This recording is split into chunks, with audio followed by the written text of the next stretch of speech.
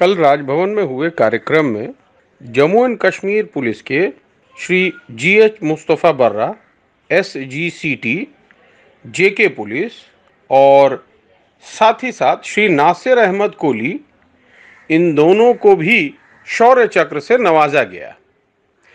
ये दोनों ही कहा जाता है कि एक छोटी टुकड़ी के साथ आतंकवादियों से भिड़ गए बुरी तरह दोनों शहीद हो गए, मगर आतंकवादियों को इंगेजमेंट उस वक्त तक करके रखा जब तक कि एक बड़ा दल पुलिस का नहीं आ जाए।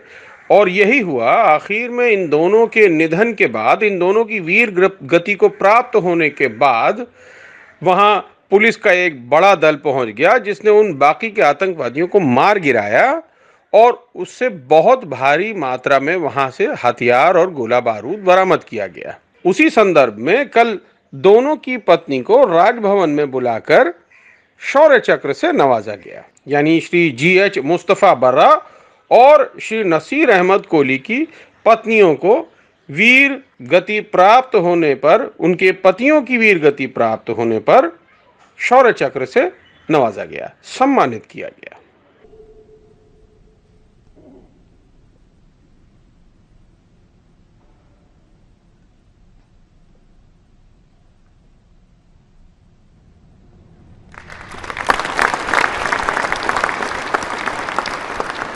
स्वर्गीय श्री नासिर अहमद कोहली की पत्नी श्रीमती शाहनाज बेगम।